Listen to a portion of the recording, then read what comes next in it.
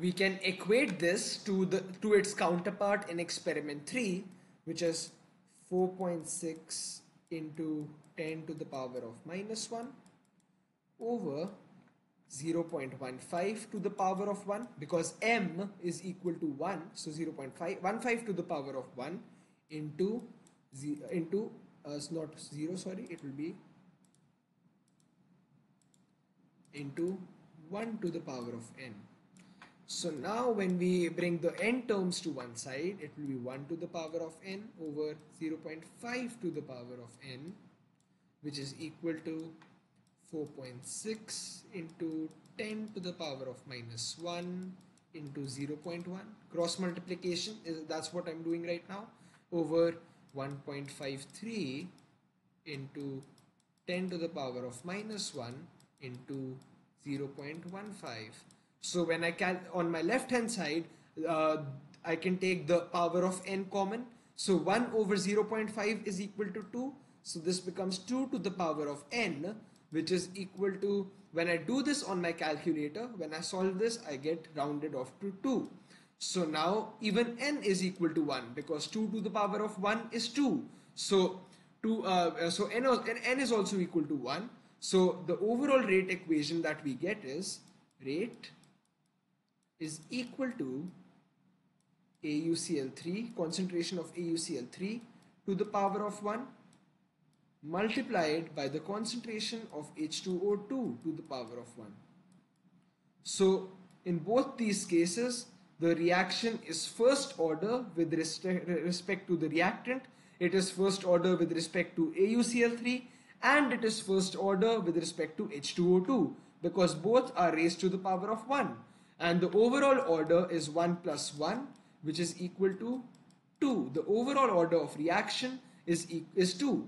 Now uh, if you can see the coefficient of AuCl3 was 2 but it is raised to the power of 1 and the coefficient of H2O2 is 3 and even that is raised to the power of 1. So it really does not depend on the coefficient in the rate equation. Uh, it cannot go beyond, the order cannot go beyond the coefficient but it does lim uh, limit itself uh, to 1 over here in this case. It, it, can be any value, it can be 2 and 3 as well, but in this case it is not, but it can. However, it is not necessary that it will be um, it will be the, co the, the coefficient in the stoichiometric equation. The co I forgot the k over here, I'm sorry about that.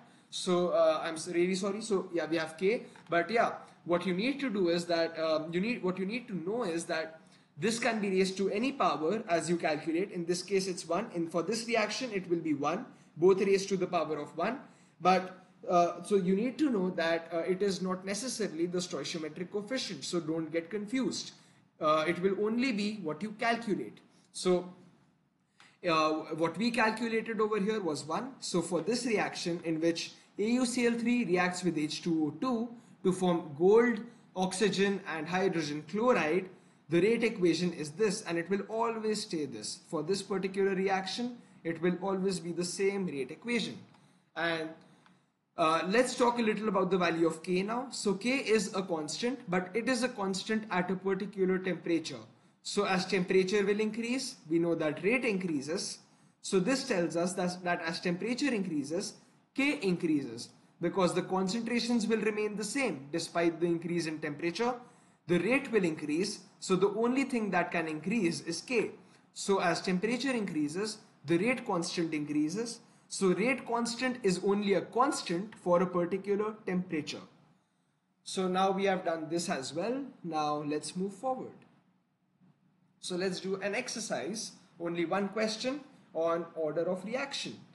So nitrogen monoxide, NO, reacts readily with oxygen uh, 2NO gas plus O2 gas gives 2NO2 gas.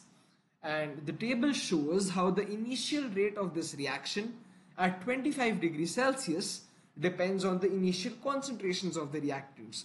So now as you can see, they have mentioned the temperature, which means that we will use the rate constant K at this particular temperature. So reduce the order of reaction with respect to each reactant, explain your reasoning. So let's write our general rate equation. So rate